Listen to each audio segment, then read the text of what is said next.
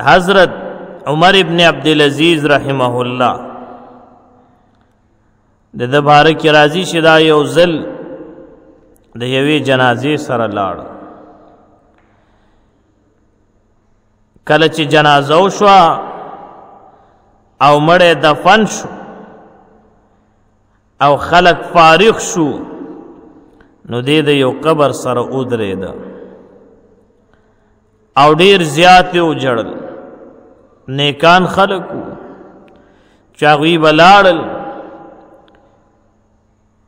نو د ادیره تبا چې ورسېدل نو بیا به د قبر خوا کې ودرېدل صد پارا چې دینه پند او نصیحت حاصل کی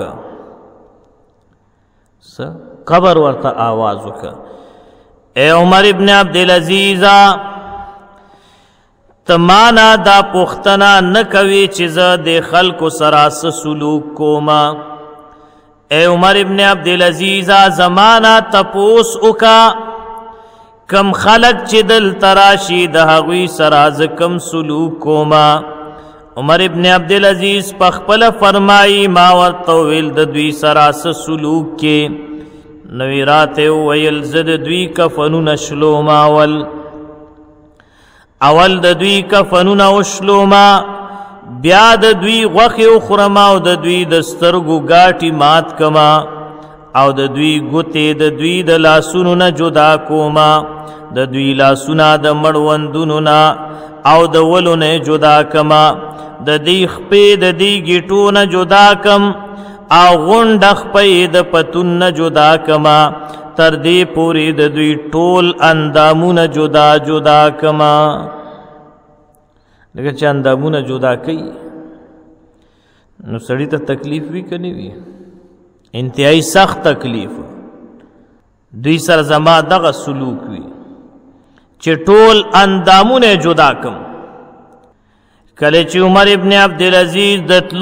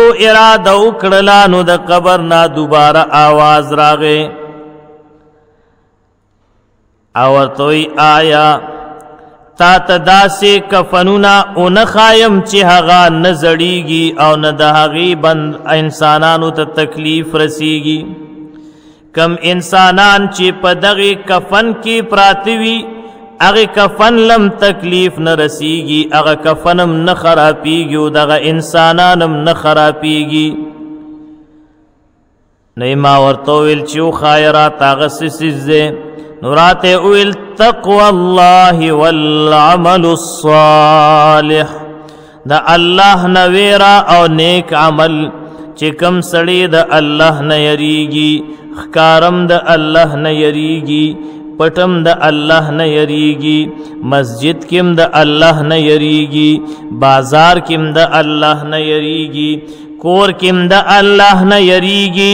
دکانداری چې کوي په دکانداری کم د الله نه یریږي گاک له دوکن ور کوي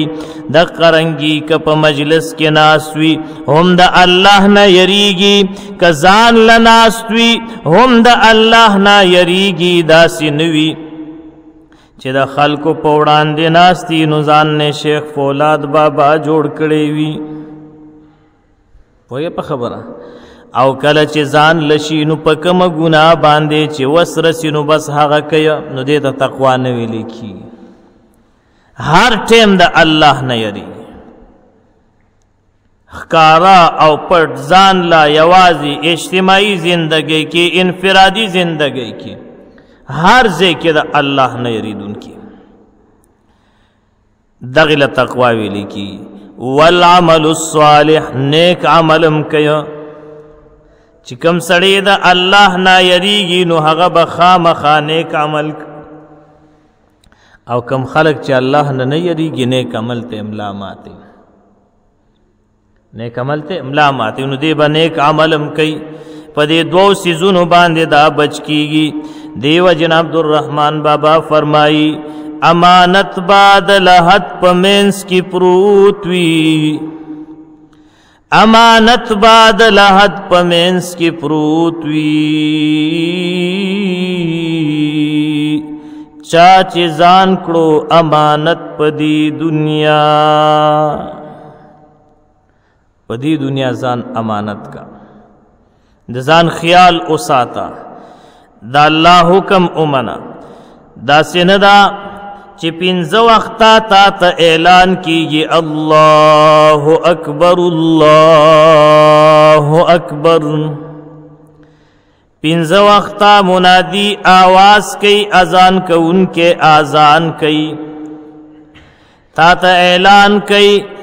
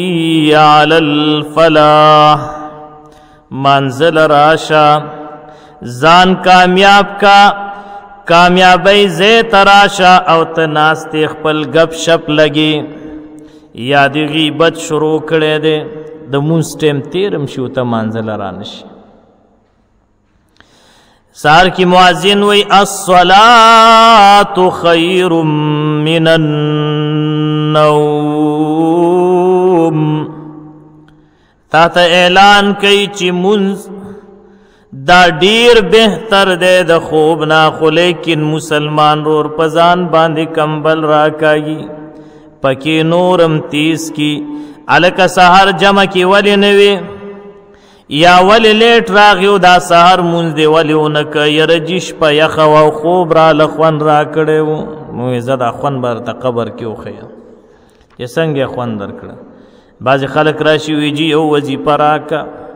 سهار مانځه کې ډېر لټې ما موې ښه هغه ټیم کې خو لټ نه چې کله ته ګاک اډ درکړي وختي را پاسې او پته ولګېد چې د الله د حکم در سره اړو خیال نشتا د الله حکم در ته اړو سخکاری نه د الله د حکم په مقابله کې د گاک خبره سره زر ده هغه له خو بیا درې بجې پاسي سلور بجې پاسي او مونږ د پاره الله یاره جی شپه یا خو یاره بس پوه نه شو مونږ وزال ته قبر ته ورځي نو عمر ابن عبد العزيز رحمه الله فرمایي ما ته قبر او ویل چې دلته کې هغه خلق بچ کیږي چې کم تقوادار وي او کم نیک عمل وي ناسي سوچ وکاو چې مونږ تاسو تقوادار او نیک عمل یو او کنه یو